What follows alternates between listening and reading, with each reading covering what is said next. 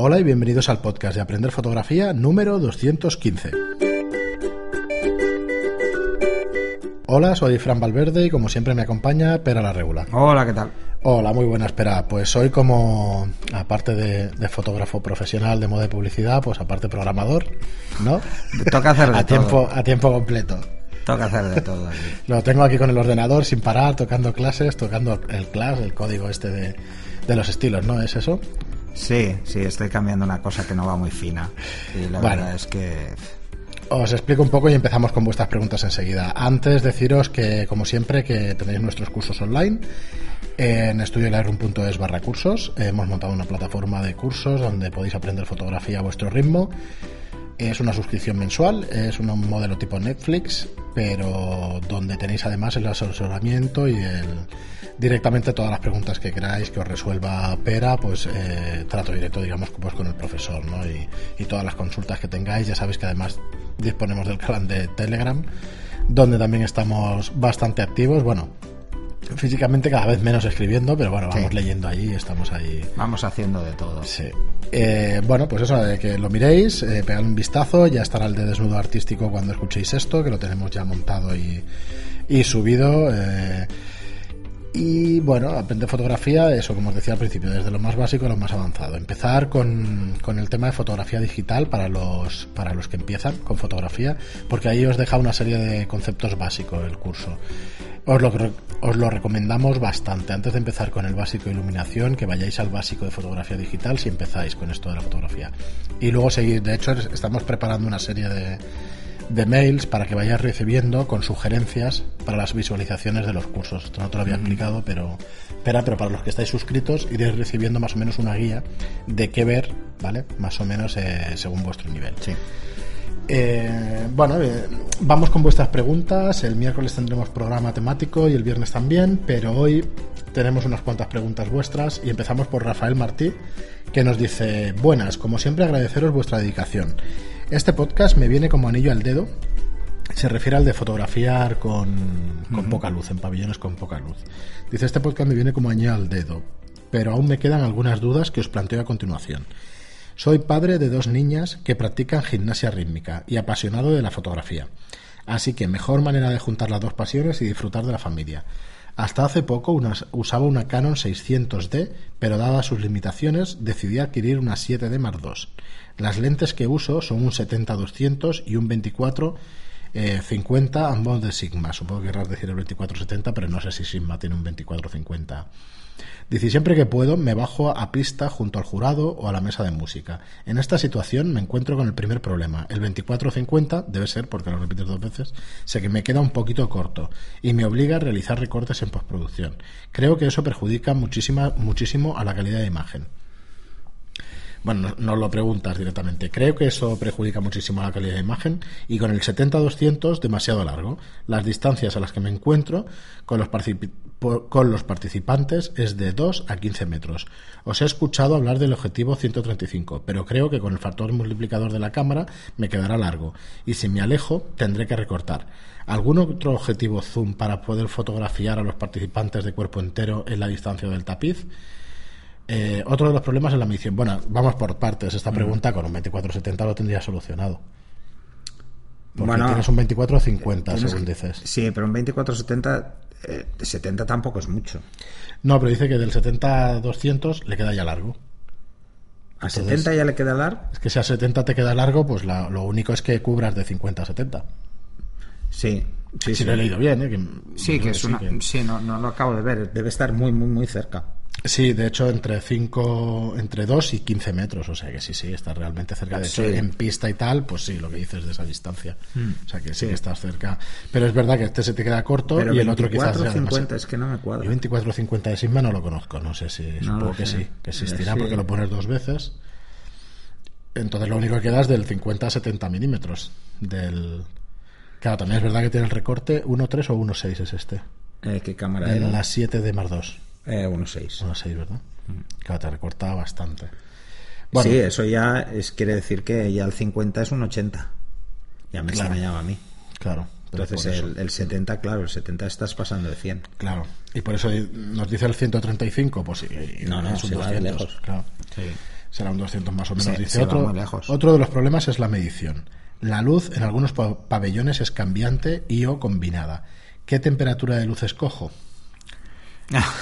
Ahí, Buena, buena, buena pregunta. buena adquisición, sí.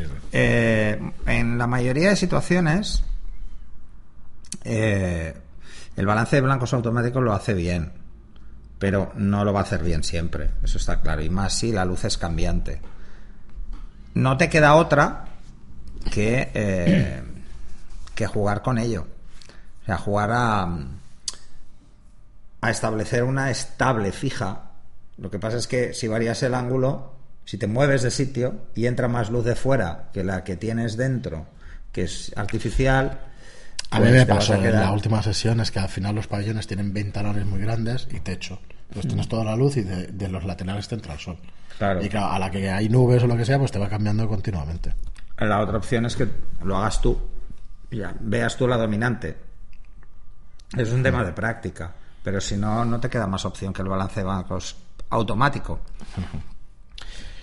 Luego nos dice, dado que los maillots son de distintos coloridos, había pensado en medir la luz tomando como referencia el tapiz. ¿Cuántos puntos más o menos sería el tapiz? Esto depende del tapiz y de cada uno, ¿no? Pero Sí. del color y de la textura, más que del color además. Sí, sí, sí, sí. Entonces. Claro, medir en el tapiz eh, tienes que saber qué luz refleja y tal, o, que- o mejor dicho, qué luz incide. Te podrías llevar un fotómetro y ir midiendo, pero si luego encima la luz te va cambiando, ¿no? Sí, sí. Así que. No, no, no te queda otra. No Yo creo que es lo que dices tú, que al final es práctica y depende de qué pabellones te cambiará o, o no. Sigue. Por último, ¿qué punto de enfoque uso? ¿El central o en central con ayuda alrededor? No, no, el, el central. Lo de las ayudas va muy bien. Por ejemplo, si el objeto es muy pequeño. Pero con el encuadre que está haciendo no tiene ningún sentido. El central es el más preciso. En servo. ¿Cómo haces el encuadre de una cosa que se va moviendo con el central solo? No, no puedes. No puedes, está el objeto en el centro está y ahí. ya está. Tienes que meter al centro. Pero de todas formas, si va a hacer este tipo de fotos, Sí, el sujeto. el encuadre es el centro. Entonces, no, no, vas, a, no vas a poder hacer. Vale. Eh, sigue y nos dice otro asunto. Cuando compré la Canon 7 de Mark II, pensé que sería la solución a, mi- a todos mis problemas y que sabiendo manejar la 610, sabría manejar la 7 de Mark II, pero no ha sido así. Estoy abrumado con tantas configuraciones y tantos ajustes. Eh, lo que peor llevo son las configuraciones y tantos puntos de enfoque. Un pequeño resumen me vendría genial, pues eso de que unos puntos son precisos y otros no, que si los hay en cruz, que si no enfocas todos a 2.8, uff. Creo que hay que hacer un máster de verdad para poder usarlo en condiciones. Bueno, Gracias eso- por todo y disculpa por el tostón. Eso pasa. Tampoco hay que darle muchas vueltas. Así que. Bueno, eh, ya, a ver, eh, yo creo que nos queda pendiente un tema de, de resumen de manuales de cámaras y tal. Lo que pasa es que, hostia, cuesta hacer una cosa así y en cuanto tengamos tiempo probablemente nos pongamos con las cámaras más, digamos, más vendidas o más usadas del mercado y ya lo, ya lo tocaremos. El Sí, tema sí, este. sí, sí. Muy bien, seguimos con Rafael González, que nos dice, hola a todos y felicidades por el programa. En este audio habláis de la cámara 5D Mark II. Perdonad. ¿Podríais dar alguna orientación sobre estas cámaras, ya que tienen un tiempo y que merecen mucho la pena, tipo Can- Canon 6D, Canon 1D Mark II, Canon 1D Mark III? A veces nos acercamos en usar cámaras nuevas y hay verdaderas gangas en este tipo de cámaras que son una maravilla y mejores que muchas cámaras nuevas que hay en el mercado. Muchas gracias de nuevo. Bueno, ya sabéis nuestra opinión en general si nos escucháis, es que es así. Es así, es una Mm. Sí. buenísima opción. La segunda mano y más de cámaras probadísimas, cámaras de aficionados que realmente no han tenido uso, porque Mark II por ahí en el mercado las hay con pocos disparos. Mark Sí, porque también. es una cámara híbrida, es una cámara que usaban, usan muchos profesionales, pero también muchos aficionados. Entonces, eh, si viene de un profesional, probablemente tenga muchos disparos, pero eso no quiere decir que esté mal. Pero que si viene de un aficionado, pues probablemente tenga muchísimos menos. ¿eh? Sí, Y sí, es una sí. opción, vamos. Entonces, eso normalmente, si, si se lo compras directamente a la persona, no lo sabes bien bien. Pero normalmente las tiendas cuentan el número de obturaciones y en función Eh, de cuántas tenga, le ponen un precio y le ponen otro. Sí, no sé si es un programa de Canon que Es solo un se lo da, de Canon. que solo se lo da a los, a los distribuidores No, o a las tiendas, pero se puede conseguir. Se puede conseguir. Entonces conectáis la cámara al ordenador y veis el número de disparos del obturador. Y claro, cámaras, eh, el otro día vi una yo de una 5D Mark III con 10.000 disparos. Pues imagínate. Vale, yo me acuerdo que te lo comenté de a 1.500 euros en... Bueno, no diremos la tienda, es igual, pero a 1.500 euros una, una 5D Mark III con 10.000 disparos no es un regalo, pero está muy bien. Muy bien. Mm, por ese precio. muy bien. Entonces, eh, buscarlas, esas opciones de las cámaras más antiguas de segunda mano, son estupendas. Yo estoy deseando sacar a pasear la D3 de Nikon, que tenía 12 megapíxeles, pero como tú siempre dices, No, el fotodiodes. El esa fotodiodes cámara es una grande. maravilla. Es- el debe ser, debe ser lo más parecido a una 5D clásica. Sí, sí, es lo más parecido. Y era una pasada, era una pasada. Recuerdo que era una pasada rapidísima también en ráfaga, porque claro, Sí, sí, es que es, Al no es lo, tener más, tanta- es lo más parecido. Pues tengo ganas de probarla de nuevo porque hace un montón de años que no la cojo y seguro que, que funciona de maravilla. También tienes la, la sujeción, digamos, la, El grip. la, la- sí, la empuñadura vertical, que parece que no, pero es otro mundo, las cámaras con, con empuñadura vertical. Y sí, sí, lo recomendamos totalmente. Y Reinaldo eh, nos dice con respecto a la ley de a la ley Mordaza, ¿vale? Yo creo que este comentario no lo Sigue, leí sigue, sigue porque sigue un poco, sí. Dice, espero no haberme equivocado demasiado. De momento, y en mi opinión, el guardia civil actuó mal. No puede hacer que borres la imagen. No. Debería haber levantado acta y haber retirado Eso es. tarjeta o cámara o teléfono. En este caso, decirte que lo apagases, meterlo en el bolso y precinto. Y enviarlo y dar, cuen- y dar cuenta al juez para que te sancionen. Si Sí, podías en el caso de que sea sancionable. Claro, claro, si podías o no. No sé qué instalación sería, pero depende, normalmente no. Por ejemplo, en una estación debes pedir permiso, por ejemplo, al ente público, en el caso de un cuartel, a la autoridad de ese No, acuartelamiento en- o en directamente a la dirección general del cuerpo que sea. En, en, en una estación ya no es lo mismo. Ya no es lo mismo, ya dijiste que Ya no eso ya ha cambiado. falta. Eso ha cambiado por lo que comenté. En, eh, para hacer, poder hacer fotos a cuerpos y fuerzas de seguridad del Estado debes justificarlo y pedir un permiso al Ministerio del Interior. Eh, si, por ejemplo, es para la policía local, al ayuntamiento. Sí. Dice, evidentemente, si el agente presume una posible captación de las personas o instalaciones sensibles o prueba su difusión con, carácter ilícito, tiene todas las, las de ganar. Dicho todo esto, a las malas perdiste un trabajo, a las buenas no te sancionaron. En todo caso, y como curiosidad, al margen de la ley Mordaza, cuidado con las sorpresas. Todo tiene derechos de autor, fotografías, pinturas, monumien- monumentos. Mm. Y precisamente tu foto los tiene, por lo tanto no pueden hacer nada con tu foto, debe ser un juez. Hmm, Porque los edificios también los tienen y, tenéis, y podemos tener alguna sorpresa. Pero esto último es como de anécdota. Saludos. Pues sí, sí, Reinaldo, estamos, estam- tienes toda la razón, yo creo, en todo lo que dices. Eh. Y tenemos un comentario, una puntualización bastante interesante de Anónimo que nos dice: Saludos, el vídeo 2000 era de Philips y el VHS lo inventó JVC. Sí. Yo no me acuerdo, pero seguramente será así. Sí, sí, la verdad es que no me acuerdo. Creo que Sony, Sanio hizo el sistema beta, pero ya, Ah. ya no lo recuerdo, pero que diría que sí. Sony. Sony o Sanio, el beta. Eh, Beta creo que... el- Sí, igual lo hizo Sanio, pero lo licenció Sony. Yo el primer trabajo que tuve a los 14 Creo que años sí. fue reparando en un servicio técnico de Sanio. Joder, macho. Reparando radios. Joder. Radios y televisores no, porque no me dejaban, pero las correas aquellas que No te de dejaban por, radios. por el arco voltaico, por si te quedabas enganchado. Bueno, me, me pegó varios pinchazos y se reían de mí y me decían que estaba curado de virus durante un mes o algo así. sí, sí, sí, pues se hacían coñas. Yo- te pegaban los chispazos a propósito, yo creo, ¿eh? O sea, estaba ahí con la tapa abierta y no te dabas cuenta y No, le te pegabas pegaba al, una al- hostia, sí, es al igual, pero solo, solo, no, un condensador. Cualquier condensador que estuviera cargado. De Pues hecho, igual era eso. De hecho, yo, no nosotros jugábamos con los condensadores, es- lo enganchabas, le pegabas un chispazo. No, no, este era el transformador, no era un chipazo, era un... ¡pua! Era... Bueno, un condensador te puede pegar un buen viaje. Sí. depende de cómo sea. igual, si yo recuerdo de, de meter así el codo y tal... digo, El, hostia, el y viaje es, es importante, ahora Sí, sí, falta sí, que es sea... te ponen los dientes calentitos. No, no, eso que, sí. Que pica bastante. Y otro anónimo nos dices, bueno, mira, nos dices el nombre aquí, dice, hola, soy Carlos. Me han dado una Nikon D60 con un objetivo 50 milímetros, manual, con enfoque manual. Tengo que elegir yo el diafragma de 1.8 a 22. La cámara no se comunica con el objetivo, por lo que no se puede usar, por lo que no sé a qué velocidad disparar. El flash solo qué? funciona en manual, de 1.32 y 1.1. ¿Cómo puedo medir la velocidad de disparo? Pues con la ley de reciprocidad, ¿no? No, a ver... La medición. No, pero tienes la medición igual. O sea, la medición la tienes igual. El que el, el objetivo sea manual quiere decir que tú escoges la apertura manualmente, pero la medición sí que sigues. Mira, te, lo leo, te lo leo entero y se lo intentamos explicar bien. Dice, las aplicaciones de medición de luz valen para algo, de esas que pones el ISO y el diafragma y te dice la velocidad. ¿Cómo medir con ellas? Eso es un ¿A qué- fotómetro. ¿A qué pero distancia si hablas de aplicaciones flash? móviles, olvídate. No sirven para nada. Bueno, te calcula según el ISO y la velocidad y tal. o Sí, pero solo te puede dar te una estimación, no sabe la luz que hay. Claro. Entonces, si necesitas un fotómetro, hay aplicaciones de móvil que hacen de fotómetro usando una célula eh, fotosensible que tienen todos los móviles, que, Que es no la que usamos sí. para hacer cuando acercas el móvil a la cara, Para que se apague. se apaga la pantalla, ¿no?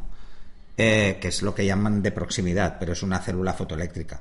Simplemente cuando nota que hay sombra, se apaga. Además, podéis hacer la prueba pasando el dedo, que se apaga. ¿Vale? Pero mm, por lo demás, no es. Bueno, eh, yo te veo, Carlos, eh, nos lo dices, eh, dice, mm, ¿a qué distancia tiro con el flash? Según el diafragma, ¿a qué potencia de flash? Soy nuevo y lo peor es que no puedo suscribirme a vuestros cursos. Responderme esto y luego os invito a una caña en Cornella. Pues oye, hombre, está más cerca. Está, sí, cuando Está ya no, nos pilla muy lejos y eso. No. Yo te diría que te fueras escuchando los podcasts y que además eh, los anteriores y que nos sigas escuchando en el futuro. Porque todos estos temas los vamos Ya- tocando sí. recurrentemente. Además, los hemos tocado bastante. estos. Sí, entonces, a ver, darte aquí deberían ser dos, tres horas de explicación, como el curso de Flas de Zapata y todo eso. Entonces, poquito a poquito, si vas escuchando y eso irás aprendiendo. Eh, decirte, pues eso, como decía Pera, las aplicaciones no te miden la luz, te hacen el cálculo de la ley de reciprocidad, de que si... Bueno, y ni eso, depende de la aplicación. depende de la aplicación. Pero es que la ley de reciprocidad es muy sencilla, no tiene ninguna complicación. Entonces, Es, eh, escuchando... si abres un paso de diafragma, tienes que cerrar una obturación. Es que es así, es lógico. ¿Vale? O sea, si tú vas a disparar a 5, 6, 200 y bajas a F4, tendrás que subir a 400, porque está más abierto. Tendrás que doblar la velocidad. Hay, hay cuatro programas de medición de luz y de, y de los ajustes básicos de cámara, digamos, y de medición y todo eso, que tienes al principio del podcast, el episodio del 3 al 7 o del 4 al 8, una cosa así. Sí. Y que yo creo que te servirán para lo que nos estás pidiendo. Luego el tema del flash y eso lo vamos te- eh, tocando, pues eso, recurrentemente y sería demasiado largo para explicar a- ahora mismo. Y, y ya nos explicarás por qué no te puedes suscribir, porque porque bueno, no, de- a ver, si te interesa eso, pues te puedes suscribir un mes y ya está, te ves el curso de Flash de Zapata y ya está, y luego te das de baja Sí. y, y ya está. Bueno, eso ya nos es- explicarás. es- esa siempre es una opción. Y luego tenemos a Basili que nos dice, hay una estética seria, Choni, mirad la movida del, del rap, Ah, bueno, sí, claro. toda la Sí. movida del rap. Es igual, solo te tienes que ir a un vídeo de... Hay uno de coña muy bueno, que es, que es bueno, es simplemente es una parodia del vídeo del Justin Bieber, No, que es Yo soy una choni, o no sé qué. Sí, bueno, es muy bueno, ¿eh? Es tremendamente bueno. Pero te ríes mucho. Es uno, de- uno que se llama Zato o Tato o algo así, que tiene unos vídeos de parodia geniales. Muy bien, y... Pero no es que se meta con ellas, simplemente es que asume que existe esa cultura. Sí. O sea, eh, esto, Mira. a ver, esto puede sonar muy heavy, dicho como lo dije el otro día, No, hombre, está en un contexto. pero es un contexto muy sí. concreto. O sea, eh, ni estoy a favor ni estoy en contra. Ahora, ¿cuál es la historia? En el mundo de la moda difícilmente funciona. ¿Por Yo- qué? Porque es, es como es como cuando hablábamos hace 30, 40 y 50 años, Mm. hablamos de las eh, tribus urbanas. Es que yo te iba a sacar el tema de la movida madrileña, aunque lo siento si alguno se ofende y eso, pero verdad que tiene algo, o sea, Bueno, era la época de los mods, de los sí. rockers, de, de un montón de estéticas Esa urbanas. estética, pues, que no- entonces pues hoy en día a lo mejor se ve algo como tiene un sentido puntito, ¿eh? hasta cierto punto compararlo con esas estéticas, ¿vale? Evidentemente hay un mercado de la moda para hay un mercado para, para las chonis, es que si no no irían así porque van todas igual prácticamente, ¿no? Sí. Mm, Pero no me refiero tanto a eso, no me refiero a la estética en moda como podrían pasar con los rockers y tal. Sí, que eso puede pasar, sino, que, sino que la- a la existía actitud y que la existe, sino la actitud delante de la moda. Es diferente. Bueno, es la actitud a nivel personal también, ¿eh? La serie de Aida, ¿la has visto? Sí. Pues eh, ahí hay un par de personajes de ese. de Sí, ese sí, sí, sí. Además se juega mucho con esa estética porque da juego. Da muchísimo juego. Si esto es absolutamente indiscutible. Ahora, eh, realmente, si alguien quiere plantear, por ejemplo, que es lo que hablábamos, su portfolio, eh, partiendo de esto, que sepa que lo tiene muy limitado. ¿Vale? Es muy, muy limitado. Entonces, claro, luego va a ser muy difícil que se pueda vender como fotógrafo que no sea de esto. Esa es la diferencia. Además, pensar, ya sé que queda muy mal decirlo, pero es así, el mundo de la moda es extremadamente elitista. Sí. Al menos el mundo de la moda que, que llega a un público más general, ¿no? Porque aunque hablemos de preta porté, no hablamos de alta costura, el mercado está muy definido. Entonces sí que hay marcas muy concretas que tienen un mercado más amplio, que juegan mucho más con, con los extremos, pero son marcas muy concretas. La mayoría no, porque la mayoría pretenden vender al mayor mercado posible. Sí, son Como todos, eh, porque es, bueno, como todos, queremos vender a la mayoría. Entonces, lo único que quería decir con todo esto es precisamente eso, que lo que debemos es ser coherentes con lo que se va a esperar de nuestro trabajo en ese sentido. Mm, Luego que no nos extrañe si, por ejemplo, no, mm, vende nuestro portfolio. Pero nada, es solo eso. ¿eh?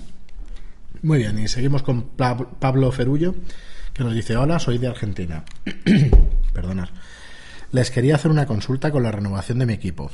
Tengo una Rebel, entiendo, una T2i desde hace ya unos cuatro años. Mi idea era pasarme a una full frame. Estaba pensando en una 6D o en una 6D más 2, que es para lo que me alcanza el presupuesto. Pero la verdad es que más allá de las diferencias que leo en las especificaciones, que son muchas, no me doy mucha idea de si vale la pena pagar esa diferencia de precio. Si bien soy aficionado, mi idea es armarme de un equipo del que pueda obtener algún rédito. El gran problema es que el objetivo con el que vino la cámara es el 18-135 EFS, con lo cual el único lente con el que cuento para alguna de esas cámaras es un 50 fijo, con el que tengo que contemplar la posibilidad de comprar también un lente. Me gusta la fotografía en la calle y de paisajes. No me gusta hacer fotografía de estudio ni con una escenografía demasiado armada. Me inclino más por lo espontáneo. Sé que es una pregunta demasiado abierta y les pido disculpa- disculpas por eso, pero como estoy empezando a evaluar la cuestión, me vendría bien su consejo. Desde ya, muchas gracias. Pues nada, gracias por hacernos la pregunta. Yo supongo que vamos a decir lo de siempre, que inviertas para empezar, que empieces por los objetivos. Sí, los objetivos es lo más interesante. Yo no, no, no le des muchas vueltas a las cámaras porque no tiene tampoco mucho sentido. Solo planteate eh, mm, tu objetivo si es a corto o largo plazo. Si es a largo plazo, puedes irte a objetivos más estándar o incluso a los objetivos de recorte, porque la cámara que te vas a comprar va a ser de recorte. Pero si tu objetivo es ir progresando a más velocidad de lo normal, eh, piensa que, que un aficionado cuando empieza hasta que no necesita o empieza a darse cuenta de que puede mejorar mucho con una cámara, por ejemplo, full frame, por funcionalidades, por resistencia, por sellado, por mil cosas, pueden pasar tranquilamente dos, tres años. Entonces, una cámara mm, más barata la amortizas con rapidez, en ese sentido. Pero un objetivo te va a durar toda la vida. Si empiezas con objetivos muy simples, ¿qué te va a pasar? Que cuando quieras cambiar de cámara vas a tener también que cambiar todos los objetivos. Sí. Porque una full frame no puede montar un objetivo que no lo sea. Entonces, eso es el- un detalle que hay que tener en cuenta. Si- cómprate una cámara barata y un buen objetivo. Sí. Y vas a tener mejores fotos que con una cámara muy buena y un objetivo mediocre. Sí, si tienes alguna duda, acércate a alguna tienda que te dejarán poner el objetivo y disparar. Y hazte con un haces 100 un par de milímetros, pruebas. eh, haz un par de pruebas con un fijo de 100 milímetros Y te darás y con el cuenta 18-135 a 100 milímetros. De que es, la diferencia es escandalosa. Es escandaloso, sí. Nos lo comentaba, no sé si en Telegram o en el o en las pruebas estas de de la, de la red que nos decía que, que, bueno que había visto la diferencia con un 100 milímetros y tal y que era abismal, que, que te daba toda la razón y tal. Y es verdad, yo lo he hecho en algunas fotografías en miniaturas, de estas miniaturas que se pintan y tal, y dices, bueno, ostras, mucha, mucha. la definición y, y eso es, es, que... es muy escandaloso que haya tanta diferencia. Pero bueno, es así. Es lo que hay. Muy bien, y acabamos con Fernando Gambin, que yo creo, bueno, ahora lo comento. Nos dice, hola Fran y Pera, les escucho todas las noches desde Montevideo, Uru- Uruguay. Estoy suscrito a vuestros cursos, que me parecen fantásticos. He aprendido mucho con ustedes. Además, me parecen muy simpáticos y disfruto mucho de vuestras contribuciones. Pues nada, muchas gracias. Gracias, gracias. Nos dice, me encantaría que algún día hablen de fotos gastronómicas. Tengo dos hijos que están en el negocio y me gustaría alguna indicación sobre cómo tomar fotos a distintos platos. Si es, perdón, si es en alguna carpa, tipos de iluminación, etcétera. Les agradezco por vuestra contribución a la fotografía. Es un programa excelente. Muchos saludos desde el Uruguay. Un abrazo. Un abrazo. Pues igualmente un abrazo y además nos dice, me olvidé, soy canonista, posee una, una 60D.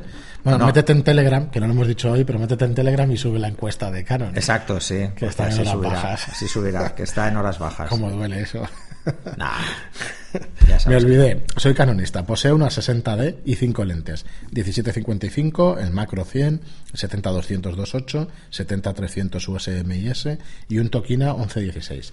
Estoy considerando pasarme a full frame, Mark 4, pero hay tres lentes que ya no me servirían. Igual conservaría mi actual cámara. Además, tengo una 40D. He comprendido perfectamente las enseñanzas de Pera en materia de lentes de focal fija. Mira, vale, esto es lo que decía yo que lo había leído. Digo, eh, la, he comprendido perfectamente las enseñanzas de Pera en materia de lentes de focal fija. Las fotos con el macro 100 son espectaculares, aun comparándolas con el 70 de 100, 200, que es un espectacular lente. Efectivamente, es que es así. Pero he de decir que no son mías ¿eh? esas eh, lecciones, por decirlo de alguna forma. Es algo que sabemos todos de siempre, que es pero, pero además es, es, por un tema físico. O sea, hay menos grupos de lentes, por lo tanto son más limpios. Es así, cuantas más lentes haya. Yo os digo que con el, con el 1855 haces una foto así macro, que permite, me, me parece que algo de macro o algo así, mm. y le pusimos el 100 milímetros a una cámara, pero de lo más sencillo no, de no, Canon, la, no, 500, o sea, hay la mucha 550 o algo así. Y de verdad, yo no sabría decir la foto que estaba hecha con la 5 de Mark III o con esa con el objetivo. Si las ves en la pantalla, Sí, no, no. tú las, porque los conocemos mucho las cámaras y tal, pero no se nota tanto la diferencia como de cambiar una lente a otra, ¿sabes? O sea, es, es es una barbaridad la diferencia. Bueno, yo iba a proponer a Pera que a ver si podemos hacer un repaso. Nosotros hicimos aquí un curso presencial con él de fotografía de gastronomía. Aunque no somos realmente expertos en el, en el tema, pero sí podemos dar unas cuantas indicaciones de Sí, la luz y eso. sí, sí, Entonces, eh, el programa del viernes que viene, ¿vale? Será un especial de fotografía gastronómica, aunque ya os digo que tampoco podremos tocar en, en los 20 minutos, media hora del programa No. todas, todas las cosas y, y además es un tema que con un curso lo veremos más claramente Sí, sí, y además nos faltará Mauro para comentar ciertas cosas de, de gastronomía. Pero bueno, sí que podemos dar unas cuantas indicaciones. Bueno, y el, hacer un el poco último taller que hicimos presencial, Mauro estuvo ayudándome, Sí. Mauro y Machek, y la verdad es que hicimos cosas muy chulas. Bueno, pues si te parece, os emplazamos al viernes que viene para que escuchéis el especial de, gastro- de fotografía gastronómica y ya nos dirás si necesitas algo más después de ese.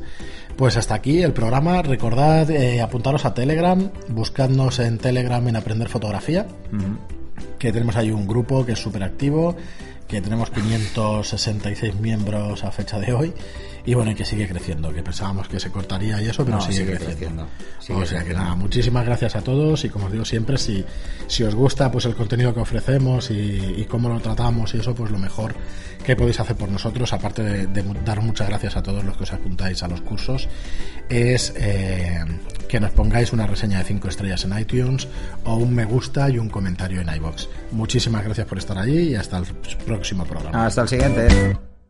Siguiente. Siguiente. Siguiente. Siguiente. Siguiente.